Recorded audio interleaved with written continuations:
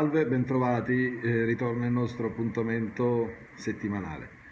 E, mentre l'Italia cerca di ritrovarsi, il Napoli eh, ormai ha ancora una volta piazzato la sua nomination come l'unica al momento, ma probabilmente anche per buona parte del campionato, come anti-Juve attenti all'Inter perché la rosa è quella che è e alla fine potrebbe sicuramente rientrare nel novero delle pretendenti, ma il Napoli comunque del dopo Sarri con Ancelotti come era preventivabile al di là di chi aveva poca fede non fa rimpiangere il passato che rimane comunque esaltante.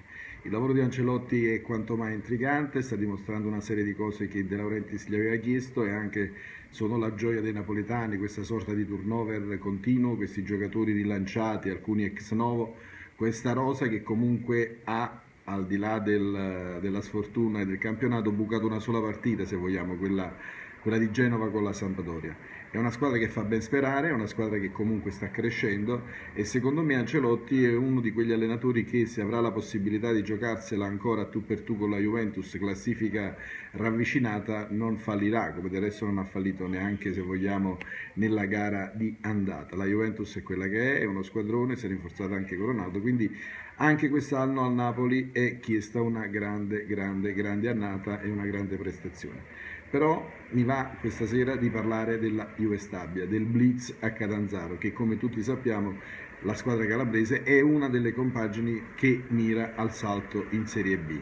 Ha allestito una rosa importante, la squadra allenata da Oteri è andata alla Juve Stabia e ha zittito una città intera con uno 0-3 esaltante, importante e che davvero si candida appunto come la sorpresa del campionato, anche se vogliamo sorpresa tanto non era perché la squadra è stata assemblata con grande intelligenza.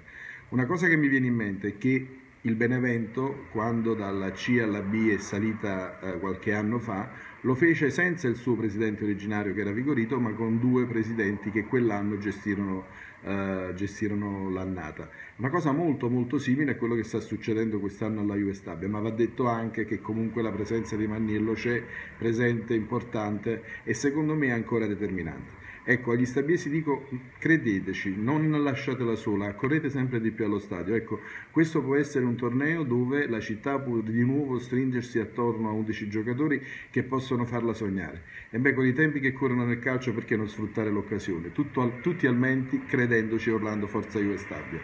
Forza Juve Stabia.